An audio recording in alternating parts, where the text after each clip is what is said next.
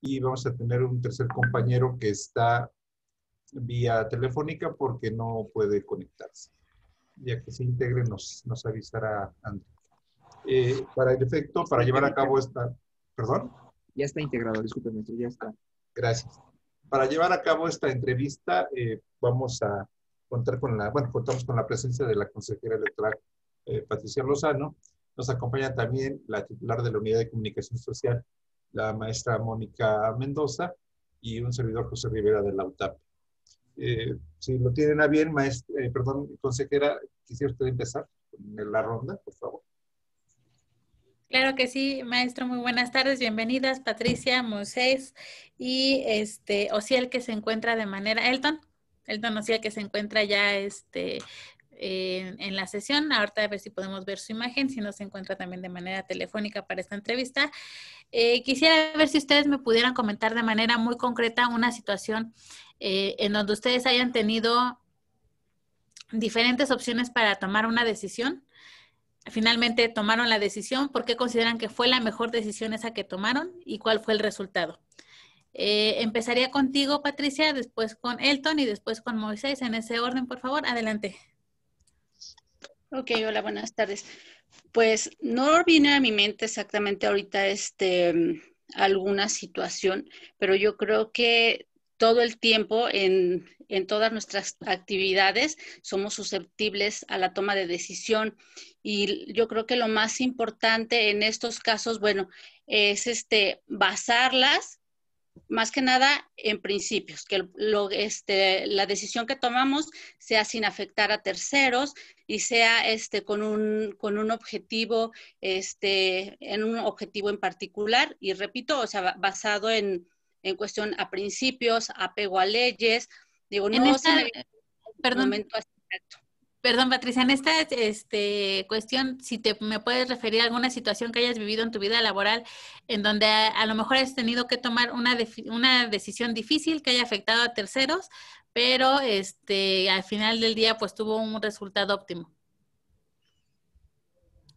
Bueno, eh, yo creo que, bueno, en este caso, en una decisión que tuve que haber tomado fue este, hace mucho tiempo en una empresa que yo trabajé, estaba como supervisora. Este, detecté el caso de uno de mis compañeros, de uno de, mis subordinados, que no estaba haciendo las cosas correctamente, no estaba actuando como con ética. Primero lo que tuve que hacer fue este, constatar las, circunstancias y una vez que constaté este, la situación que se estaba dando, pues presenté el reporte a, este, un superior y pues obviamente eso tuvo, tuvo como consecuencia el, el despido. Ok, muchas gracias. Te escuchamos, este, Elton, por favor. Hola, muy buenas tardes. ¿Sí me escuchó? Sí, sí te escuchamos. Ok, muy buenas tardes. Bueno, este, referente a la pregunta, este, mi nombre es Elton, este, he sido ética independiente, he estado en una fundación. Creo que este, perdón, perdón, eh, nada más eh, para la entrevista, para que no nos proporcionen ningún dato personal, ¿no es necesario, por favor? Ah, okay, Bueno, referente a la pregunta, lo, lo menciono porque, este, bueno, también he, tomado ciertas decisiones.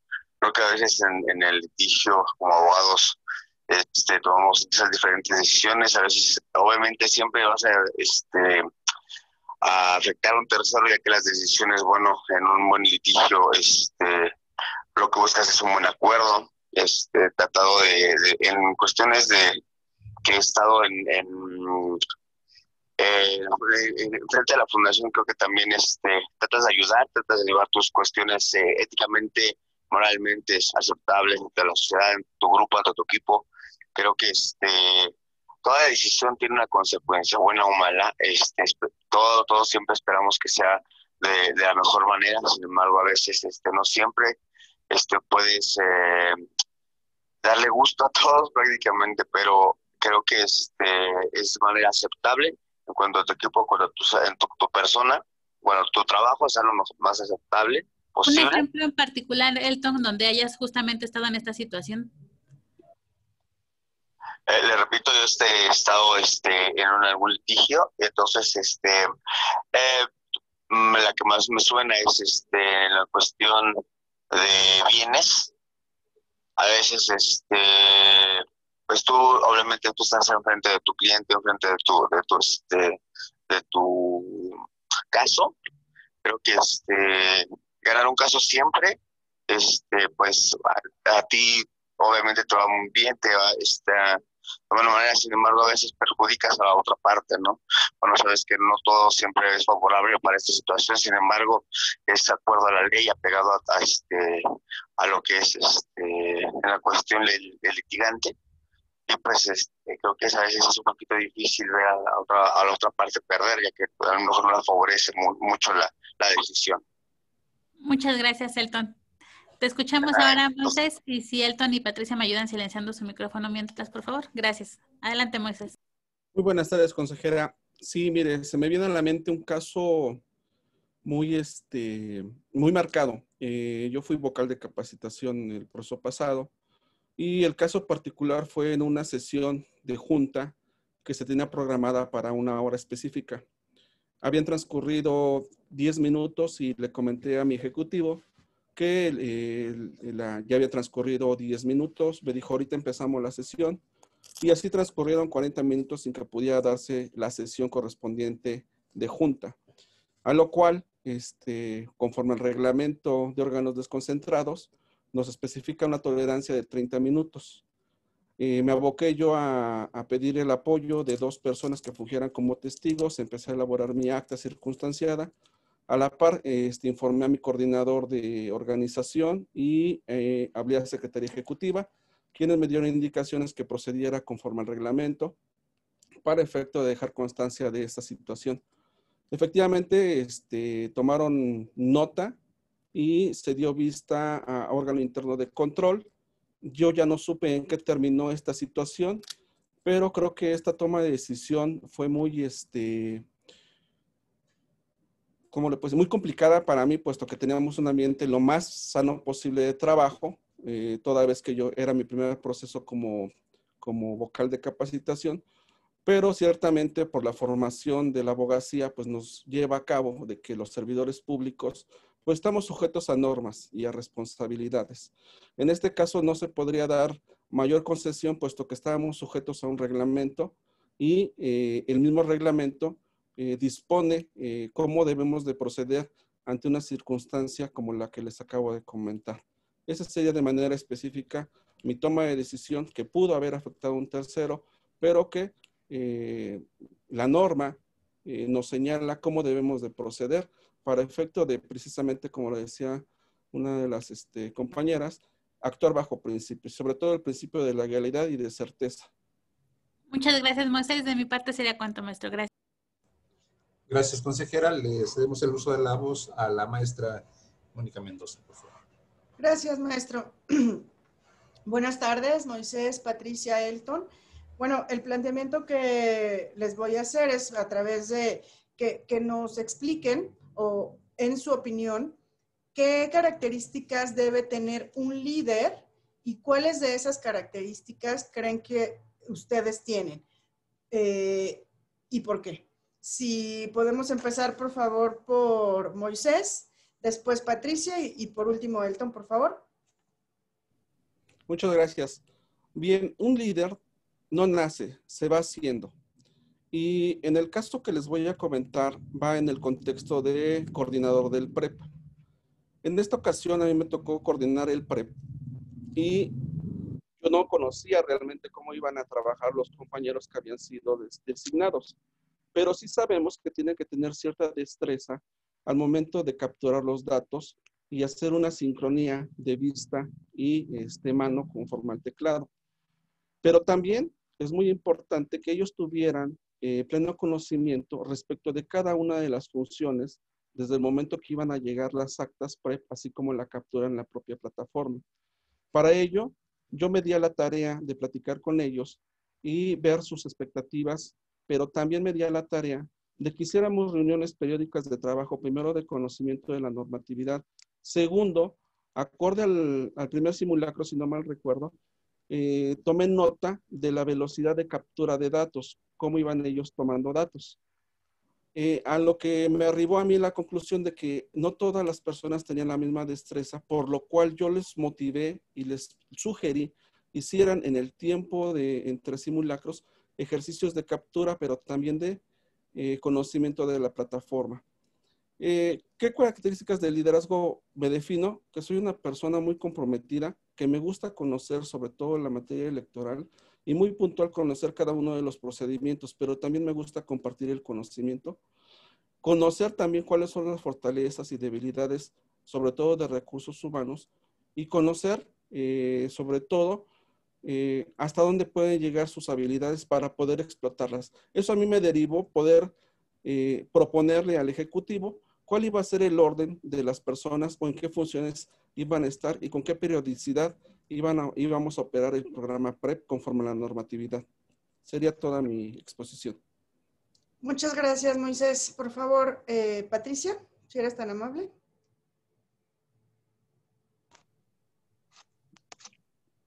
¿Qué tal, maestra? Buenas tardes.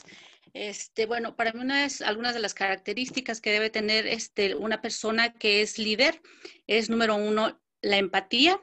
Eh, número dos, ser una persona íntegra. ¿Por qué? Porque pues, a partir de, de, la integridad es de que puede motivar a las demás personas a seguir el ejemplo y a trabajar este, en base a los valores ser una este, persona capaz de persuadir, de convencer a la gente a, llegar a un objetivo, este, de forjarse metas, cumplir metas. Otra, este, ser una persona muy responsable, ser una persona este, capaz de saber corregir, saber corregir, saber aplaudir, reconocer a, a las personas, a los integrantes de tu equipo. Yo creo que es muy importantísimo este, para que se pueda este, motivar a la gente, el saberles aplaudir, saberles este, reconocer el esfuerzo que día a día se hace y que en el momento que se ve alguna situación este, que no es acorde, se corrija, pero se corrija en privado y se corrija. Una, una cuestión, de las características que nos has descrito, ¿cuáles crees que tienes tú? Yo me considero una persona íntegra, me considero una persona este, capaz, que le gustan los retos, una persona este, responsable, empática y respetuosa. Muchas gracias, Patricia Elton. Por favor, tu respuesta. Gracias. Creo que sí, yo creo que para tener un buen liderazgo en todo un buen equipo, creo que te tienes que empapar primeramente de todas sus cualidades, de todas sus este, debilidades, incluso también creo que la cuestión de lo que tú tienes que tener en, en la en esta eh, en tu en tu equipo en tu en lo que a ti te arrastra a todo para tú dar resultados creo que tenemos que tener empatía sin embargo también tenemos que tener creo que una de las cualidades más fuertes sería esa disciplina que debes de tener este con tu equipo. Creo que este el, tener logros es una es una mm, es, la manera de dar resultados a, todo lo que tú tienes que dar. Incluso dar un poquito más es, dar el, el 100 está eh, yo creo que ya, ya, está implícito. Sin embargo dar un poquito más es conocer este más del trabajo más este más ideas más este más de todo no porque esa parte que aparte de, tener todo como un líder, como una, una, este, una cualidad del cuando tú premias a tu equipo, de cuando tú incluso debes de sancionar a tu equipo, de cuando tú, tú debes incluso de sancionarte a ti mismo, ¿no? En, este, sería valorando tus, tus, este, tus decisiones y si ha sido lo correcto, si, si, si, si, tú funcionas incluso para tu equipo, ya que si a veces no puedes dar el ancho, creo que también es este válido autocriticarte, este, modificarte a ti mismo. Una cuestión. De las características que nos has descrito, ¿cuáles crees que aplican a ti, eh, a ti o a tu personalidad? creo que todas, ¿eh? creo que soy una persona bastante eh, yo, lo, yo lo tomaría como alguien que evoluciona en su propio, en su propio trabajo, que sabe tener, este, aceptar sus fallas y, obviamente autocriticarse. Creo que la autocrítica en mí es, siempre, este, siempre lo estoy haciendo. Y, sobre todo la, la cuestión este, de, conllevar a mi propio equipo, a, mi, a, mis, a, mis, a mis propios valores, creo que este, sé, contagiar esa parte, ¿no? Muchas gracias, Elton. Gracias, Patricia. Por mi parte es todo. Gracias. Gracias, maestra Mónica. Vamos a cerrar ya esta parte de la entrevista con la última pregunta. Insisto en ser concretos, en atender cabalmente lo que es la pregunta, porque el tiempo se nos está agotando. Si veo que nos estamos rebasando, los voy a tener que interrumpir y me daría mucha pena hacerlo. La pregunta es la siguiente. Eh, cuéntenme acerca de una circunstancia complicada que hayan tenido que resolver, pero para poderla resolver hubieran tenido que negociar con una persona de carácter difícil o complicado. ¿Qué hicieron y cuál fue el resultado? Iniciamos con Elton, por favor. Claro que sí. Bueno, decíamos un momento, de eh, negociar es, es algo este, fundamental en mi trabajo, en el litigio. Yo soy más que nada litigante independiente. Entonces, sí es difícil con la otra parte, creo que más es, en el caso familiar. Son casos familiares en donde está este, por medio la familia, hijos, es muy difícil negociar en cuanto a este rencores y toda esta cuestión. Siempre vemos la peor manera este, perdón, la, peor este cara de las de las personas en cuanto a estas cuestiones de rencor y todo. Sí ha sido difícil negociar, sin embargo, tienes que tener esa parte, esa parte de, ponerte en los zapatos del otro y que obviamente ellos te vean a ti mismo en donde estás y tratar de hacer entender que no nada más es cuestión de hacer perder al otro, sino de ver el beneficio que hay para los dos. Sería mi respuesta. Gracias. Gracias. Por favor, Patricia.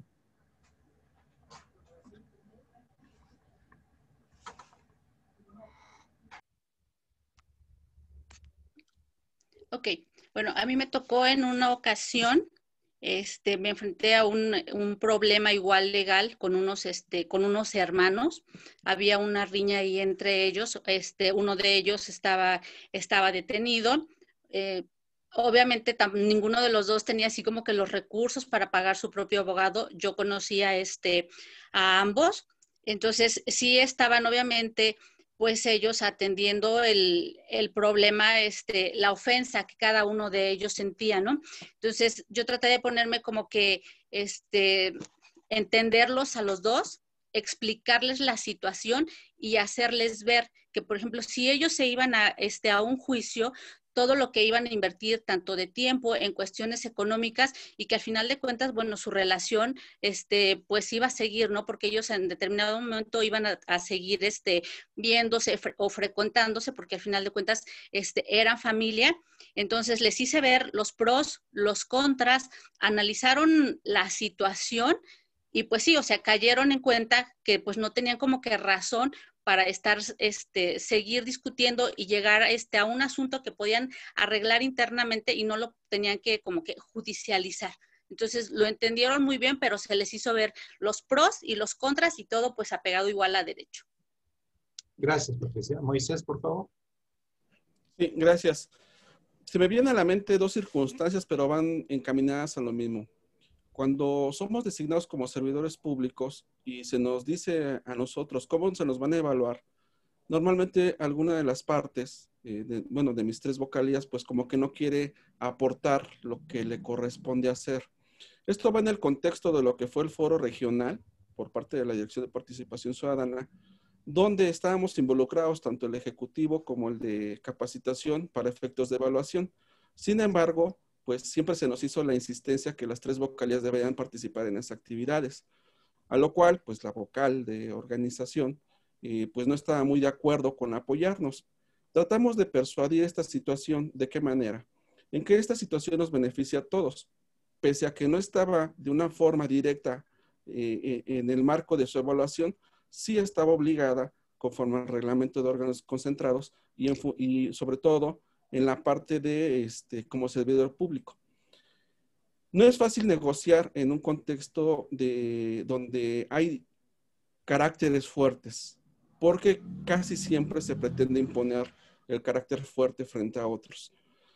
Lo que tratamos de hacer es de que esta situación nos iba a beneficiar a todos porque íbamos a lucir, porque íbamos a ser distrital. La negociación consistió en que eh, todos los compañeros deberían de aportar cuando menos sí presencialmente y sobre todo el personal, que era muy esencial para la actividad de organización. A lo cual, pues efectivamente se les hizo ver también que esto implicaba que debían, debíamos de formar un equipo. Más allá de cuestiones que si estábamos nosotros evaluados de una u otra manera, esto nos iba a beneficiar como equipo, como junta, y que íbamos a, a distinguir por ser sede regional. Efectivamente, se trata de un ganar-ganar en, este tipo de circunstancias, pero también la parte de persuasión, uno debe de tener cierta mesura, cierto control frente a personas que son de personalidad fuerte. Yo me considero una persona de personalidad fuerte, pero debo de aprender también a ceder, porque si se quiere conseguir un objetivo, también uno tiene que ceder. Ahí viene también una negociación de, de, ganar. Perdón, discúlpame, el tiempo nos agobia. ¿Cuál fue el resultado de esto? El resultado fue que efectivamente los tres vocales este, aportaron, eh, se dieron en su, eh, eh, con respecto al personal, en, ponerlo a disposición de la vocalidad de capacitación y fuimos uno de los mejores juegos regionales que se llevaron a cabo en el marco de, la Dirección de Participación de la DPC, perdón, para sacar adelante este, este evento. Muy bien. Pues con esto concluimos ya la fase de entrevistas de su equipo. Les agradecemos Moisés, Patricia, Elton y por supuesto le agradecemos a la consejera electoral Patricia Lozano su apoyo y a la maestra Mónica su participación. Estén atentos a las redes sociales para los siguientes pasos de nuestra propia convocatoria de vocales. Muchas gracias por su tiempo. Hasta luego. Muchas gracias. Excelente tarde.